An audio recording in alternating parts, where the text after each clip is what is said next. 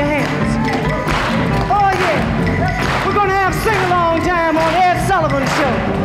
And we want everybody out there to repeat after me right now. Oh, yeah. Sing